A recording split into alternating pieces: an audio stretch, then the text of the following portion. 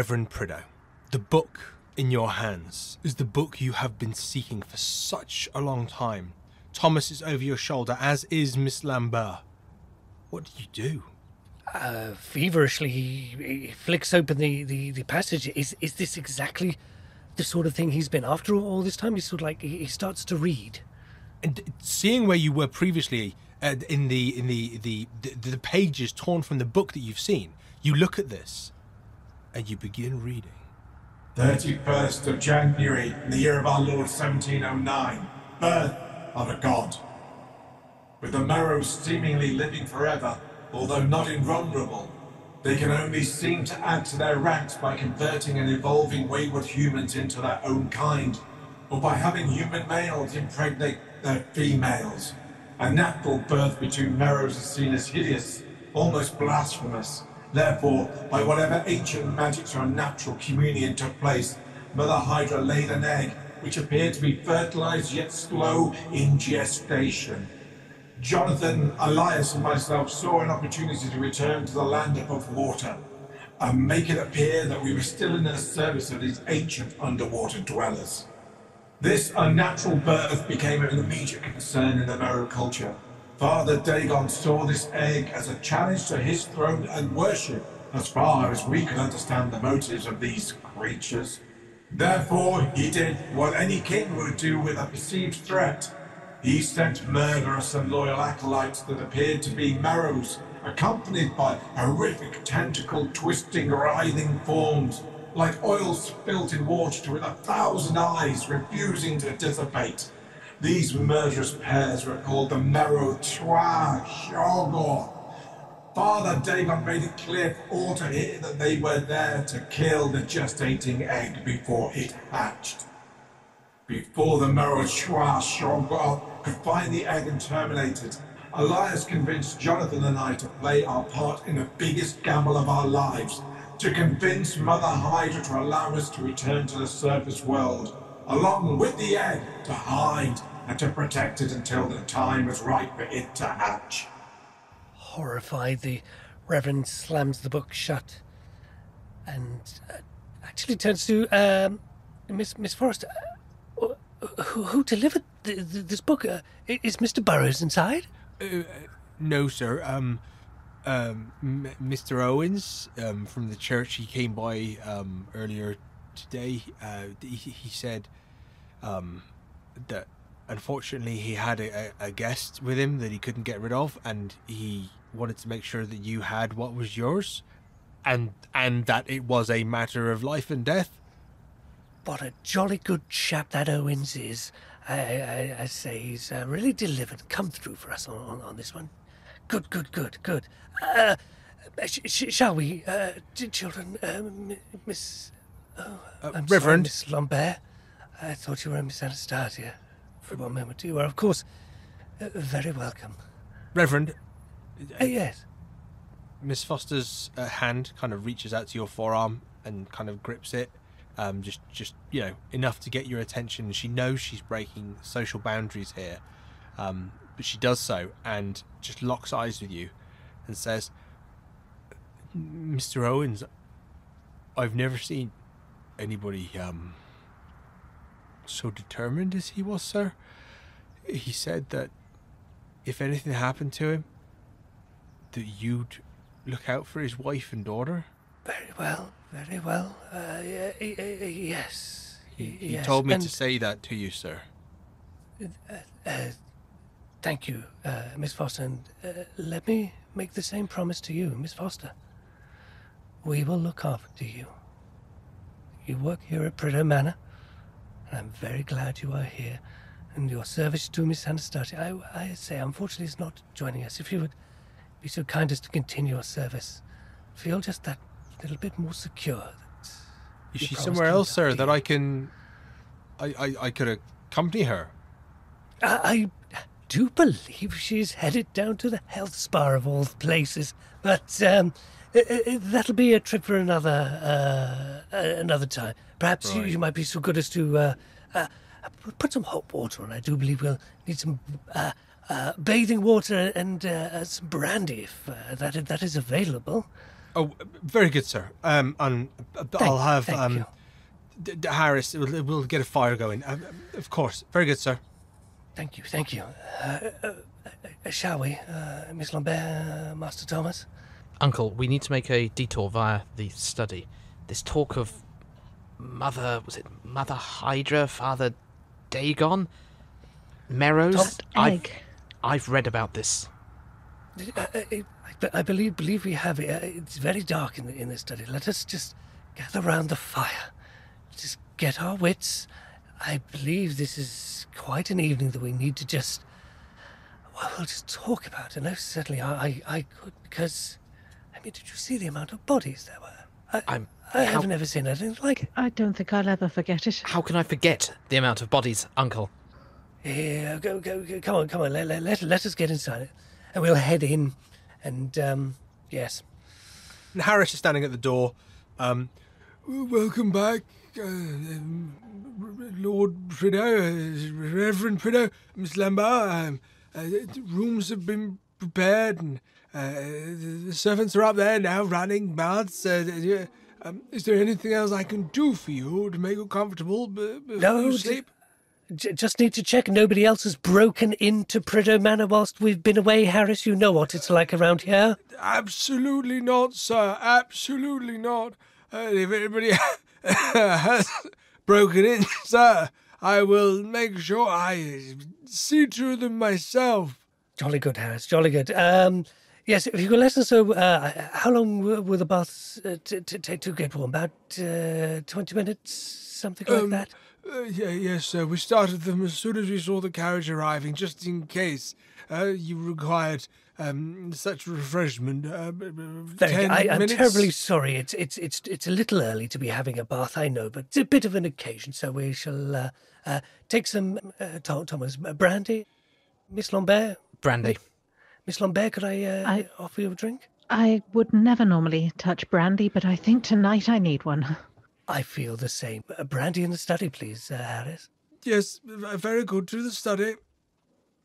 And he'll walk you to the study, and then um, he'll arrive a moment or two later uh, with a, uh, a series of brandies, um, different things. You you know in the study anyway that there's a number of drinks within the drinks cabinet, but you can see that he's brought out a rather special.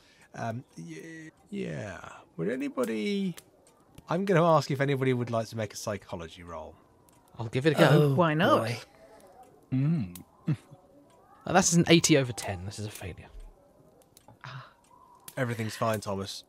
That's also a failure. 68 against 20. Charlotte is uh, a little bit out of it at this point, I think. Again, everything is fine, Charlotte. The Reverend isn't much uh, better. He is 89 versus 46. So, yes, everything is fine. As I they... absolutely, there's Absolutely perfect. nothing to worry about. Everything is fine. Nobody is nervous for any other reason. Please drink your brandy. Carry on your your, your conversation. It's been a long night. Thomas will head to the bookcase where he deposited the copy of Waves of Madness by Stuart H. Bruce. Uh, can I find Waves of Madness on the shelf? You can. Excellent. I will bring it over to the Reverend Prideaux. Uncle, I think we should look at this book as well. I feel there is definitely a crossover. Have you have you seen this one? Yes, yes. I, I, I think I've uh, been been through the library. Uh, Miss Lambert tells a very troubling story of, uh, let's just say, a um, uh, a mother goose coming back to collect her eggs and not being happy with the people that stole them.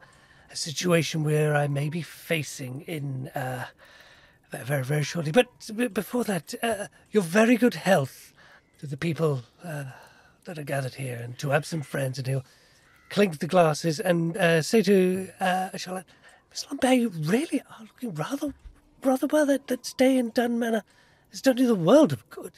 Well, I have to ask, Reverend Thomas, did you know? Did you know that I'm a Dunn? I promise you, I had no idea. How has this uh, this come about? Uh, uh, Lady Dunn uh, whispered something to me uh, about it, but uh, I thought it was just a bit of a bit of a ruse. How could you possibly be be, be it not that I wish to, to, to dissuade you. It's, I, I, forgive me, Charlotte. It has been quite an evening. It well, for quite some time, I I I felt as though I'm not really one of you, and and now I know why. Emily told me tonight. Uh, apparently, my grandmother. She was married before, and she was married to a Dunn. Done. I, I, I don't um, quite un, un, understand. That would be quite some time ago. Neither do I. That's why I'm asking you both whether you knew, and, and if you did know, when. No, I, I, I mean, how, how did you come to this in, in, information? Is it, did you read it in the family tree or something? No, no, Emily Dunn. She told me tonight. Uh, it was though they were waiting for me to be there. Waiting. Goodness me. But but you're uh, well in your, your yourself. You uh, you you fainted at the uh, well on on the beach and uh, Yes. Yes, they, they took very good care of me, but these this book this book and that that says about the egg I've seen it. I've been there. It's on the ship. The, the ship I keep dreaming about. The, a, a, a giant red egg. Uh, I heard a voice. I was on the deck of the ship and I heard a voice from the captain's cabin and it said, Mother. And it was calling out and, and it was there. I saw it and I, I touched it. no no no no a no. no. giant red egg. I, I I I I too have seen this. Uh, uh, are you sure it was on the ship? It wasn't pumping into the water like like like a heartbeat or something like that. You mean the red egg made of red jelly with the, the creature inside in Jenkins's lair, in the center of Jenkins's lair, with the these I'm gonna call them merrows, these fish things in tanks either side. Well, it would appear it is on the ship now, uh, according to M- M- M- Miss Lambert. I'm, I'm sorry, Well, is it it Miss Lambert or dream. Miss Miss Dunn? Which would you prefer? I, I don't know. I honestly don't know. How about you call me George and I'll call you Charlotte, just like back at the house. I would like that. It's good to have you home, Charlotte. I have missed you. Thank you, George. Now, this this lair, Thomas. Well, we had this very strange situation uh, occur. We went to the well, uh, uh, Charlotte. After you fainted, we were somewhat uh, abruptly escorted to this health spa, and as we were in there, well, something untoward happened, and we we, we saw one of the, these uh, poor creatures that had been savagely brutalized by, I can only assume, Dunn. Thomas, the, these creatures are as much of a victim as we are here. They are being used for machinations, and he l- looks around a little bit sheepishly. I think they are playing with biblical forces beyond their imagination. What if these creatures are part of the end of days brought about too soon by these fools who don't know what they're meddling with? There is much, much life left in the world. We are not ready for the end of days yet, but they meddle with these creatures foretold in the Bible, these frogmen. They come out of the river, and the, the mist that is sweeping across. They need to be stopped. What they are doing before they bring about a wrath. Uncle and Charlotte, these tales you both tell of, of religion and of fairies, this is not what we are dealing with. We are dealing with facts here. Yes, these people are manipulating these creatures, but these are abominations themselves. When I was in Jenkins's lair, there was one on a table. There were notes. I and Thomas stops and thinks he I think he put some of the papers into his jacket that he was wearing. He might have some notes. He completely forgot about these because of his ordeal.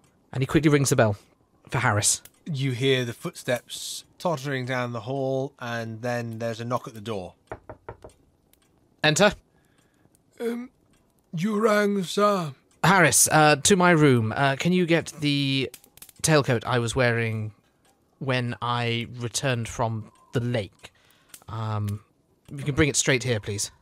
Um, it has been cleaned, sir. And the contents of the pockets? Uh, in your room, sir. In that case, if you can fetch those for me, please. Very good, sir. and uh, Harris trots back off. Thomas, you have to understand these are creatures of God's green earth. They are to be cared for as we would uh, th- those things that swim in swim in the sea, not the uh, dole dole. Uh, th- th- those things that aren't fish. They're, Um, oh gosh, my son would tell, tell me ma- mammals, mammals. Yes, the dol- dolphins.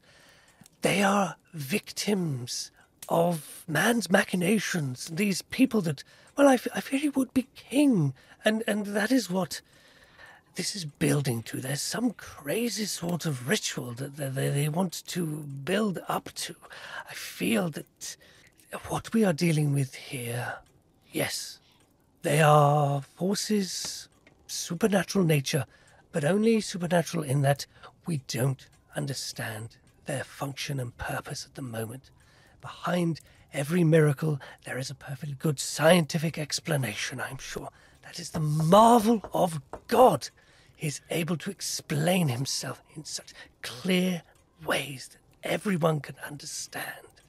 It is this nature that we must help and understand and, and prevent. I don't quite know how. This this is why, you know, Jenkins. You say Jenkins is behind all of this. I can't believe Jenkins can do all, of these things. I mean, he he he kidnapped you, and Lord Hawthorne let him uh, escape. Certainly, he's part of the mix, but unless we know somebody just as dangerous as Mr. Jenkins, I very much doubt that we're going to be able to find out the machinations of what is going on. But we will piece it together. And that does raise another good question, Uncle. Is Hawthorne and, and Dunn, where did they figure into this? You must remember, I've not had a chance to talk to them as you have. I What exactly is going. Anastasia said that they were trying to kill her. I, I don't believe uh, Tobias would have let her go uh, as, as easily uh, as he did if he feared for her life. But can only Tobias? trust Lady T- Tobias Hawthorne. Uh, Tobias, Haw- that that gentleman on the dance floor was a Hawthorne. You were letting her dance with a Hawthorne. He's a very good chap, Thomas. Please don't jump to any conclusions. But but No. if if the Hawthornes are trying to kill her, surely they would send in a what was it that Cosgrove called it? A Judas goat. I'm sorry, is that a gambling term? I'm not aware of uh, there being any Judas goats in Oh, the Bible. uncle, I don't think he owned uncle, one. uncle, you know the tale of the scapegoat. This is what he is.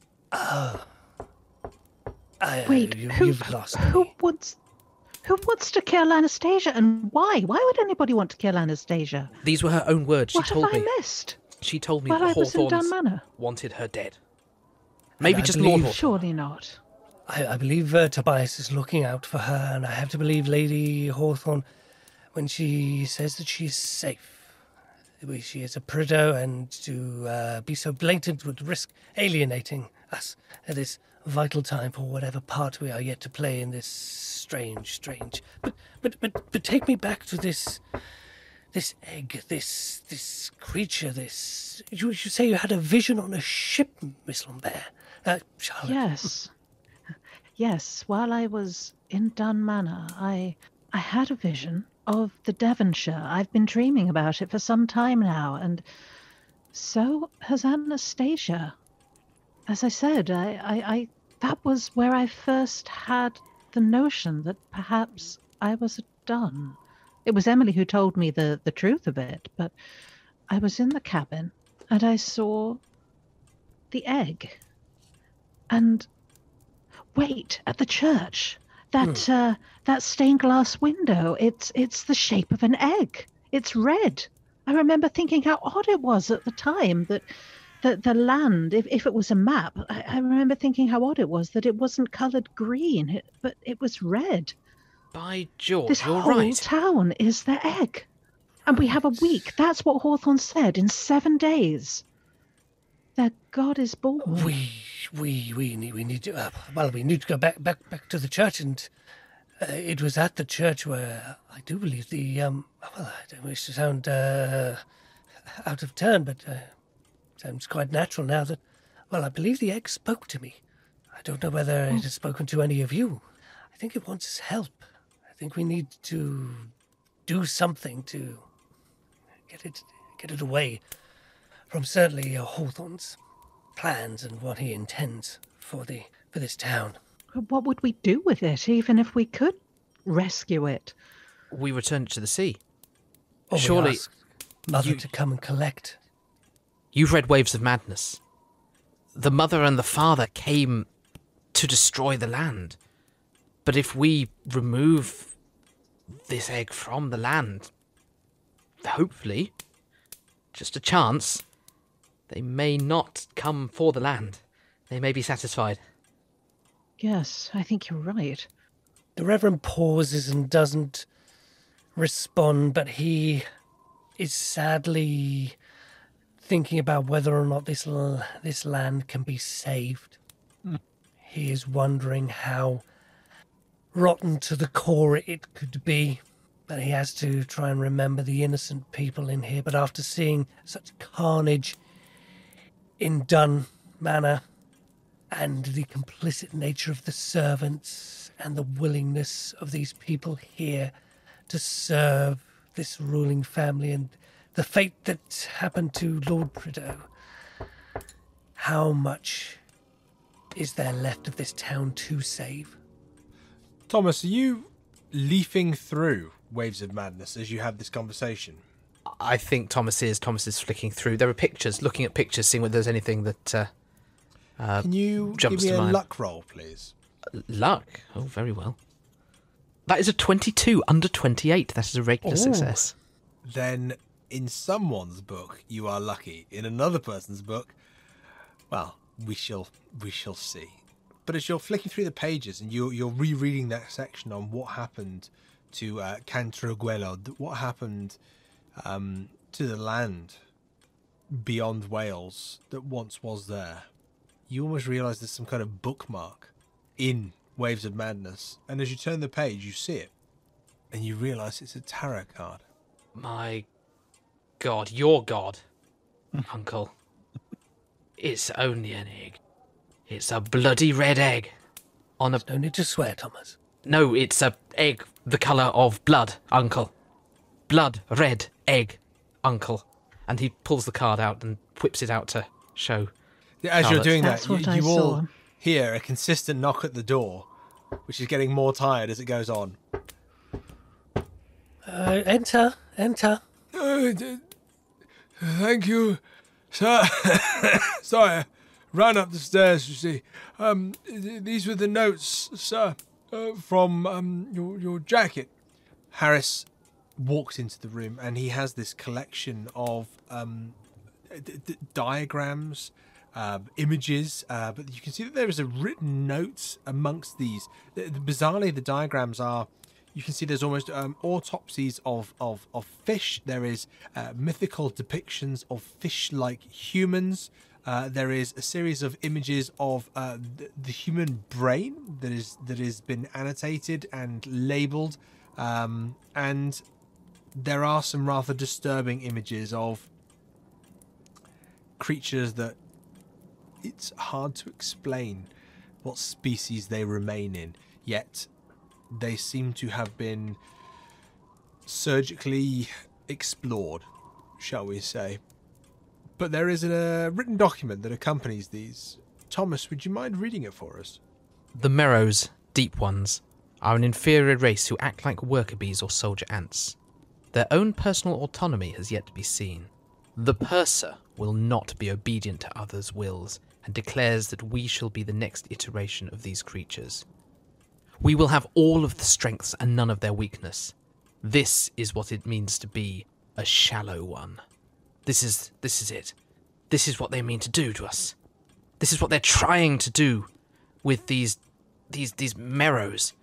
But who or what is the purser?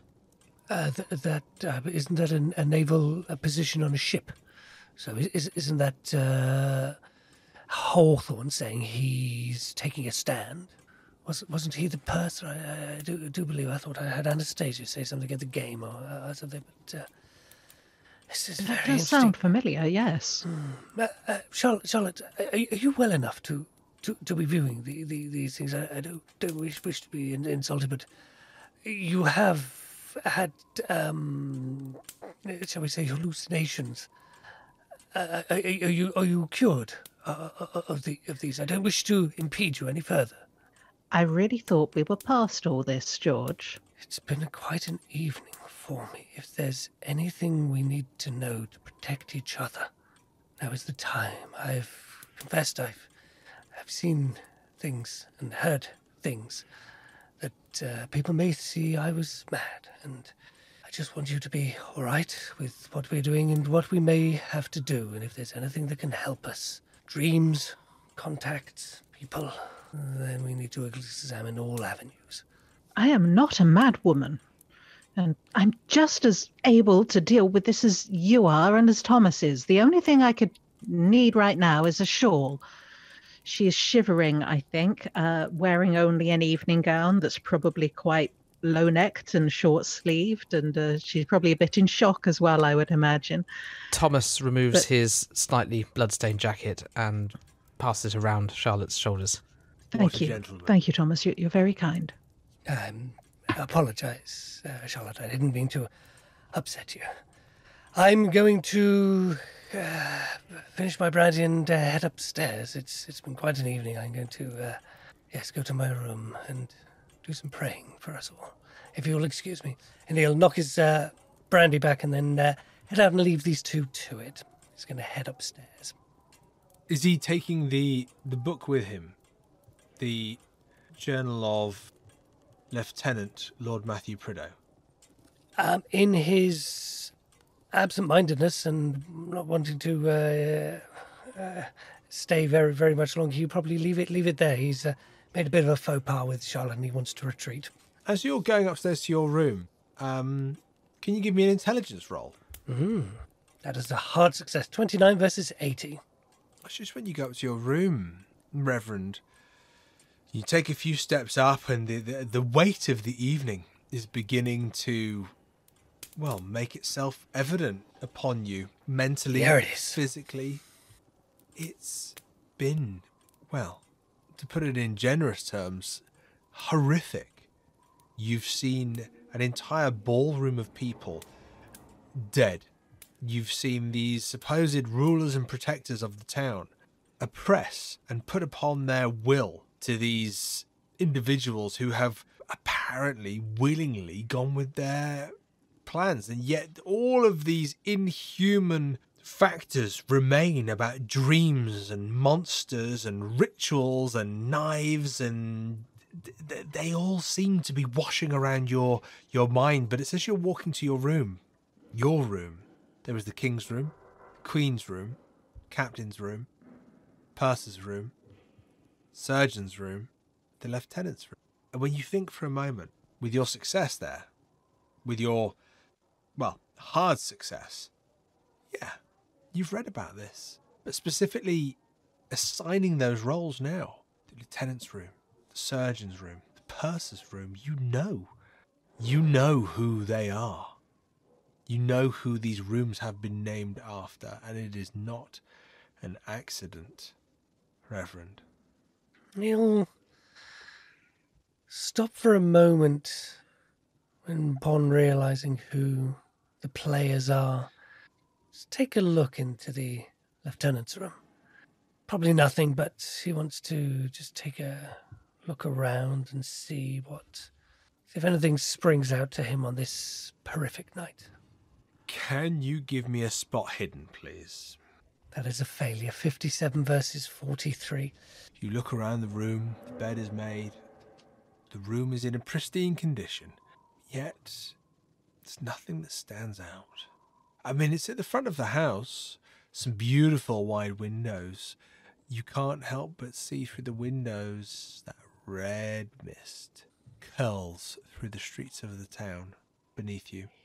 He's going to draw these curtains in a bit of bit of a fury.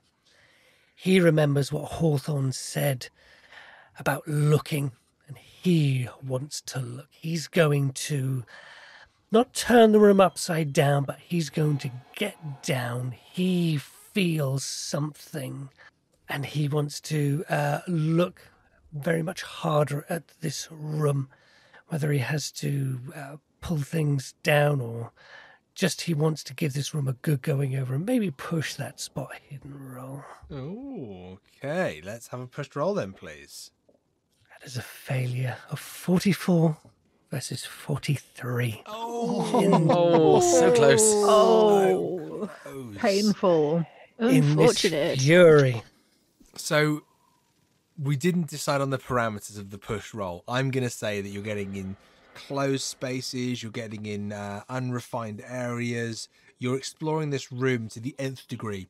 Reverend, to you, when you're exploring this room, what is it that fumbles? What is it that goes wrong? You've pulled the curtains, you've gotten down on the floor, you've gotten under the bed, you've got in the wardrobe, you've got in the, the, the private bathroom. What is it for you that goes wrong? He uncharacteristically gets very, very frustrated and he is pulling and pulling and pulling at something that isn't giving way. And when it gives way, something happens. It's around the bed, the four poster bed. You're trying to pull back some of the drapes that seem to be hanging there, and as you're looking, they keep washing over your head in this this annoyance that it's you're batting it away. And the third time you bat it away, it just gets to a point where tonight has been so frustrating, so frustrating that you haven't been able to pull yourself together and act like the leader that you know you are, the leader of your flock. But for some reason, with this family, you can't lead them. And as you push away this drape, as you pull away this drape, you pull the bloody thing down, and the drapes around the entire bed pull down. And you see, Reverend, on the wall, behind the bed, that very familiar symbol. The one that's on your right hand is painted on the wall, hidden behind the drape, in blood and it is old and it is dried and it is brown and it is crusted. Someone many moons ago drew this symbol above this bed because they wanted it to be there. Not be seen, but they wanted it to be there. Speaking of those who want to be seen but also don't want to be there, Lord Cosgrove, you are walking with Lady Hawthorne, Lord Hawthorne, Lord Dunn, Lady Dunn, and you're having a merry walk down a coastal path, making your way down to, well, the beach of all places. The wind is blowing, the tide is rolling in. You have an opportunity to talk, Lord Cosgrove, with whomever you like. Uh, Lady Hawthorne, likewise. I say, Lord Cosgrove, how are you finding Kingscombe? I'm, I'm, I hope that uh, the atmosphere is uh, stimulating enough for you. Uh, yes, if anything, it may even be a trifle too stimulating. Oh yes, we do tend to find that with, with newcomers, um, but I'm sure you'll grow accustomed to it after a few days. I, I can't recommend the spa waters enough, and of course, bracing sea air, wonderful walk on the beach in the moonlight, most restorative. I think you'll find. Yes, I, I can feel myself becoming more restored by the moment. Excellent, excellent. you hear uh, Hawthorne call out from the front of the party, uh, Cosgrove, Cosgrove, look down there. You see down there on the beach? And Yes. you can, Cosgrove. You can see, uh, well, the beach extending as it does across the docks, but you can see that there is a ship. There is a, uh, well, a ruin, a wreck of a ship on the beach. Uh, yes, is this um, some sort of local landmark? You might say so. As of tonight, yes, it will be a local landmark. But once upon a time, Cosgrove, that ship there, the HMS Devonshire, that sailed a hundred or so years ago from here, joined in a battle, fighting the, uh, well, the French at the time were considered rogues commanding the seas they shouldn't be commanding, an active war. And I tell you, Cosgrove, that ship, that ship there, well, it did more than its duty. But there came a day when it sank, and it sank at the hands of a ship called the Lys. Buggers, the lot of them, those French, eh? Absolute buggers. Cannons, eyes and mark. Can't fault them for that. But I tell you what, Cosgrove, that day, over a hundred years ago, that day, was the reason you're standing here, right now, looking out over this bay, looking at that ship. I, I do appreciate that it has been mm, something of a, a trying evening, but I, I'm afraid I'm not quite following.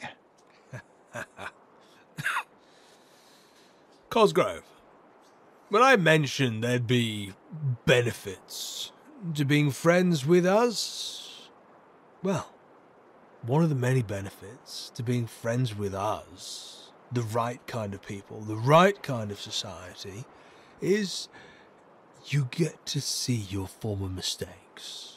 You get to live through them. You get to live beyond them. Cosgrove, how old do you think I am? I I wouldn't hazard a guess. It would be frightfully impolite. A Man of manners. Let me put you out of your misery, Cosgrove. I am 136 years old. Surprises you, doesn't it? I think after the evening that we've all shared, very little at this stage could surprise me. Well, let me surprise you a little further. Cosgrove. Dunn? And he points over his shoulder at Lord Dunn. Myself? And uh, unfortunately, you weren't here to uh, meet our third companion, our disciple, Second Lieutenant Matthew Prideaux. The three of us, we sailed on that ship. And on that ship, Cosgrove, we sank. And we saw and we experienced, and we lived. And Cosgrove, we saw something that no man is supposed to see. But if you behave yourself, and if you welcome us in the way that we have welcomed you, this control over life, this control over one's reality could be something that you are allowed to manipulate, play with, toy with. Does that wet your beak, Cosgrove? I would be lying if I said I were not intrigued. And I like it when you tell the truth, Cosgrove. Very much like it when you tell the truth. Right. Best foot forward, everybody. Let's get down to the old girl, shall we? The HMS Devonshire, and see what secrets she has in store for us. And you begin marching down this um, coastal path, which is, is quite winding, and there's a few rocks, and it's difficult because it's still very late at night. But you find yourself navigating your way down. The stars are bright, the moon is bright, there is an illumination. But Lord Cosgrove, you and Lady Hawthorne, you both have an opportunity to talk to uh, each other or anybody else within the party that you'd like to during this trek towards the HMS Devonshire. Lady Hawthorne, please uh, do not think me forward in asking this, but what what your husband has just said there is this a revelation to you? Is this the kind of thing he says often? You have to understand that um, Lord Hawthorne is a very determined man. Um, he likes to to get his own way. Um, he likes to be in control. So yes, um, this is very typical of his pronouncements. Um, and I have been privileged to be privy to his um, plans for quite some time now. As a devoted wife um, should be, you know, there to support her her, hus- her husband in his endeavours, as society would expect. And what would you be doing if you were free of the shackles of society's expectations? Oh, given what he's achieved within those shackles, um, well, to borrow a, um, a slightly um, oceanic themed um, um, I would say that the world was quite probably his oyster. I, I'm sorry, uh, Lady Hawthorne. You misunderstand me. I wasn't asking your husband. I was asking about you. Oh, um, oh well. I mean, um, I I hadn't really considered that. Obviously, um, I'm sure you have. We all have. well, as a uh, dutiful wife, um, um, my husband's position in society obviously reflects greatly on on myself. Um, But you are not simply an adornment to your husband, are you? I would like to think that I'm more than that to him, but um, but Elias has always been a man who very much knows his m- own mind and is is determined and um, forthright in all things, shall we say? Um, I have always found it best to support him, um, and if required, steer him gently, but but believe let him believe it is his own um, doing. But but in this matter, it is it is most certainly his his own thoughts that steer it. Um, I merely I'm I merely hope for the best for my my children and the town, um, and my my own safety and preservation. Yes, I. I did rather wonder if we can continue the nautical theme. Whose hand was upon the rudder? You, as I believe a great many wives of great men um, have have done over the years, you do seem to, uh, as you said, direct your husband. In household matters, yes. Um, in terms of this endeavour uh, that he, um, Matthew, and Jonathan undertook all those years ago, um, he is most definitely to the forefront. Um, Of course. but in dutiful wife, I expect to be rewarded um, for my service, and then my children and his children by his first wife will will also be protected and rewarded. I understand. you begin to make your way down onto the, the beach now. Um, the wind seems less washed on the beach uh, now that you've come down the side of the, the cliff from, from Dunn Manor. And you can see as you march in this rather militant line, even though you know, there are ladies uh, d- d- d- amongst the company, it seems like Hawthorne is driving quite a significant march towards this location across the beachfront. Lord Cosgrove, could you give me a spot hidden, please? Uh, yes, that's a hard success. Then you can see, without doubt, that you are on the edge of the red mist as you walk across the beach, but you can see that it is significant amongst the town. It is spread, weaving between the streets and the alleys, but you walk through it. You breathe it in, you breathe it out. It's no different to any other mist, it's just this unique colour.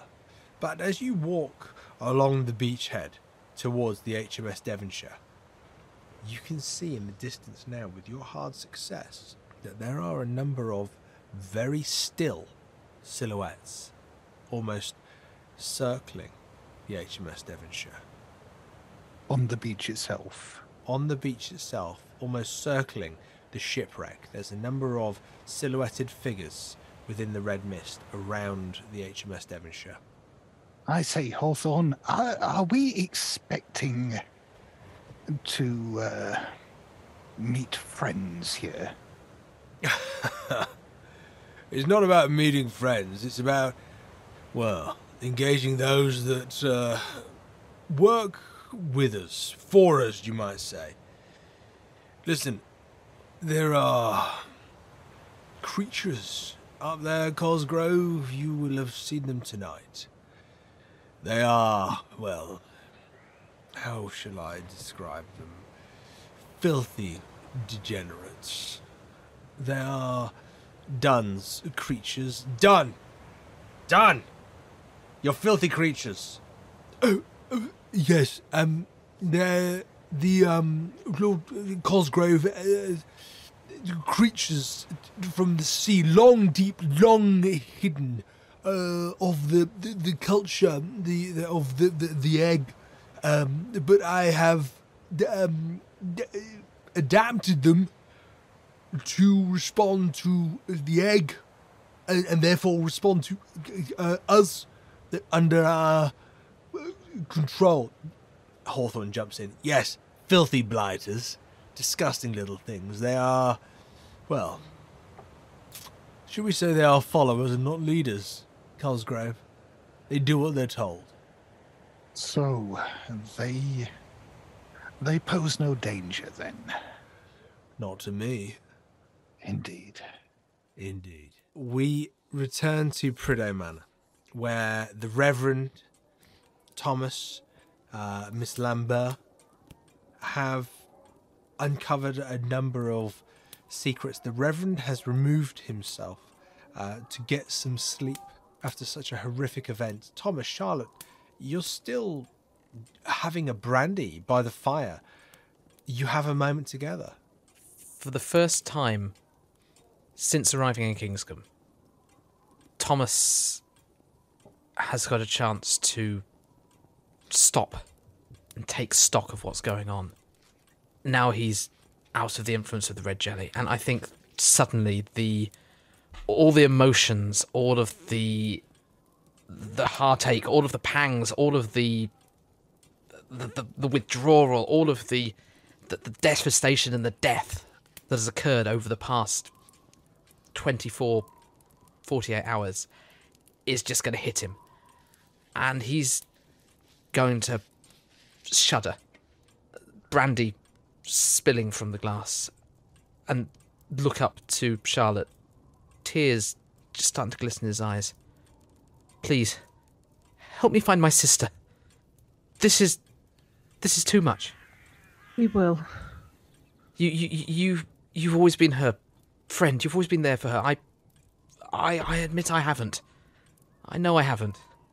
But the fact that she's actually gone. This is we need to find I'm I'm sorry. Um he turns away wiping a tear from his eye to face the fire. This is unseemly of me. I, I do apologize. Please don't apologize. And uh, Charlotte will gently take the glass from his hand where he's spilled it and refills it and gives it back to him. We will find her. Do you think? Do you think if we find this egg, if we can get it and, and if we can give it back to them, they'd let her go if they truly have her? That that is a hope. Uh, at this stage, I I don't know. Are we playing into the hands by giving the egg back to the sea? Is that what they want? So many things. I don't know. But- I don't know. If it gets Anastasia back, she was right. She was so right about so many things, and I just didn't listen. She always has been. Yeah, you're you're right. It's not too late, Thomas. She does care for you a great deal. Are you sure? I, I feel we've been growing more and more distant since since father disappeared. Your whole family cares for you. Try saying that to my uncle. Look at the way he treats me, like a child, like a petulant child. He is he is a good man, I believe. But just perhaps sometimes a little confused. I think he finds it harder than most of us to accept what's been going on here. Yes, uncle, he, he means well, but he's his head is full of God and religion. He he's contextualizing what we're seeing. This unnatural, unexplicable, unexplainable, inexplicable thing to fit within his narrow view of good and evil. This is not good and evil. This is more than that, and it scares me. There was a, a time I was genuinely afraid he was going to have me put away. That he thought I was a madwoman. we all, we all thought that when you married the Frenchman, but but you know what? I have to admit, you seemed happy with him, and sometimes I was. I would give my right arm for a little bit of that happiness that you had with Monsieur Lambert. As you say, I would give myself. I would give everything. Let me say What? that again. I I was only giving my right arm, not, not Well, the rest said- of yeah, it. that was it. As you Give say, you, myself to the Frenchman. as you say, you give your He probably right wouldn't arm. say no, to be honest. Oh, we. Is that what you said? Your right arm? I'll give my right arm. Yes. Okay, cool. As you say, you give your right arm for a little bit of happiness. You hear a knock at the door, but it's not the same knock you're used to hearing from Harris. It's three short, sharp knocks, and then an envelope, which is slid under the door. Thomas walks to the door and opens it. The corridor is empty. No one to be seen. Dark. It's very late at night. Thomas shudders. The last time he opened a door to no one there and an envelope pushed under was at Shipley Manor, and Mr. Jenkins had delivered a letter to his sister. And hand shaking, brow sweating, he brings the envelope over to Charlotte. Open it. I can't. Please. All right. And she does so. You recognize the writing, Charlotte, as do you, Thomas, even though you try to deny it, and it is the writing of Mr. Stephen Jenkins. Oh no. Damn you, Jenkins! It does say on the envelope, Miss Prideaux. Would you still like to open it and read it? I think we have to, don't we? We can't just leave that there. I know it's addressed to Anastasia, but let's be honest, it's probably not the first time that we've uh, read her mail. Well, I will add that there is a, a, a slight weight to the envelope. It's rather than just a, uh, a perhaps uh, a, a missive. It's there's something significant in the envelope as well that you can feel as you lift it up. But Charlotte, are you the one to open it? I think so. Well, as you open it, uh, the envelope uh, almost drops to the floor, uh, and the letter just kind of unfolds in your hand. And you hear that oh so familiar voice. To my intended. You are beginning to see the truth in the world that I live in, and soon the world that you will live in too. My master would use me simply as a tool, but I have so much more to offer.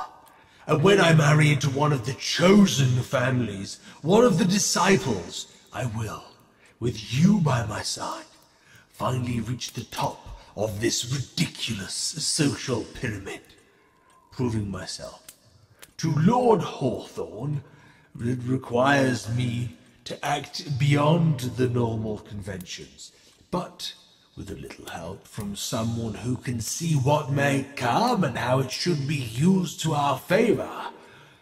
Therefore, I give you another gift.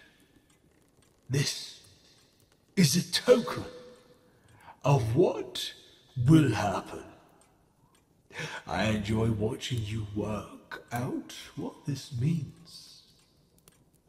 But may I say, my beloved, I am yours, and you are mine. Your devoted fiance, Mr. Stephen Jenkins. Charlotte Thomas, after reading this um, letter over each other's shoulder, you look to the envelope on the floor, and you can't help but see that having rolled out of the envelope is a finger with a ring on it.